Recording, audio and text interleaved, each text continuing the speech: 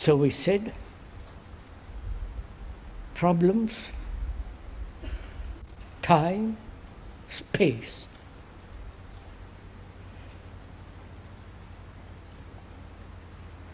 Man or woman, when I say man includes woman, so don't be women's lib. When we say man and woman, they've always see, sought power.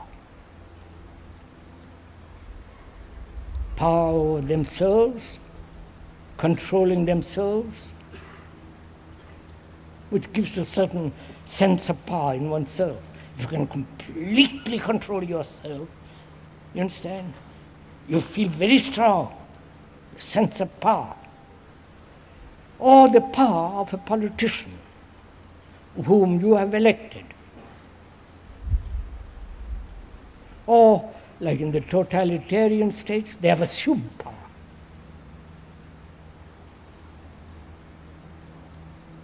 And power is one of the problems of man. You understand? And there's the other power, which is clairvoyancy, reading thoughts, all that, so called the occult. You understand? So these two types of power physical, psychological power over another. The power that one the power that comes when there's complete absolute control of oneself.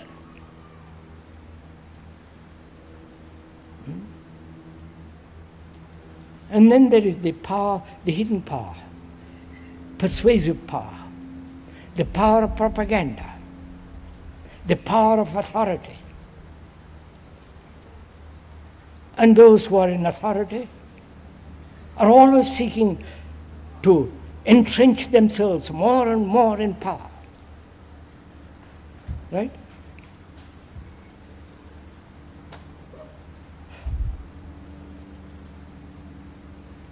Why does man demand power? You understand? Why? Why do you want power over another? Wife or husband, the husband over the wife or the girl or the and so on. Why? See, uh, which is power means arrogance. Power implies vanity. I know you don't know. I am the boss and you're not. I am the acknowledged guru and you're poor chap, you're a disciple down below. Why? Why do we accept this thing? Because that's destroying man, you follow?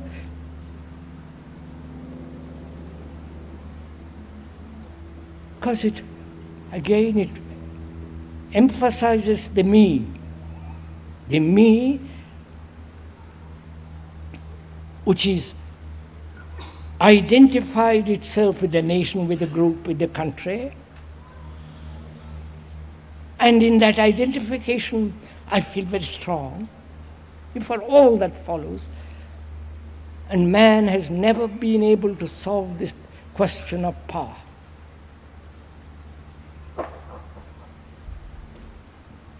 Which means man doesn't know what it means to be to have humility.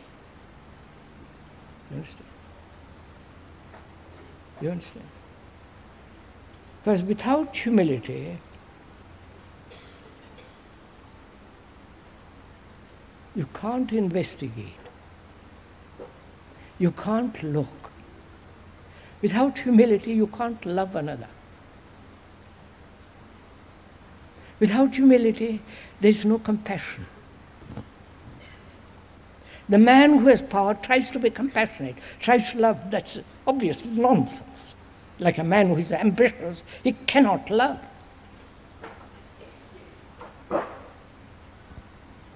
So humility comes into being when you understand the nature of power.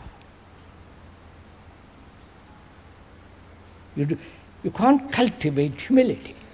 Then what you are cultivating is vanity under the cloak of humility. Right? So, and the same thing. Man now is one of the fashions or passing phase when we are talked about the occult, wanting to find out.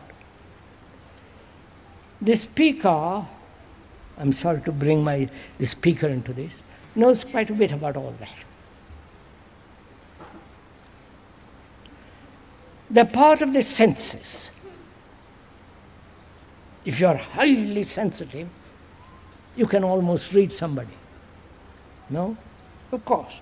If you are sensitive to your boyfriend or your husband or your wife, you know exactly, almost quickly before she tells you something or he tells you something. And you can cultivate that, you follow? And have that peculiar power of reading people's thought. Which I please, when I'm talking about, when the speaker is talking about this, he's talking what of what he knows, what has happened to him. And we, I, the speaker considers all that childish. Absolute childishness. You may be able to read other people's thought. You may be able to do all kinds of non or rather, extreme sensory perception.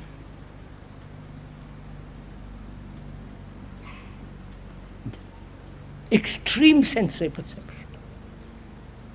ESP.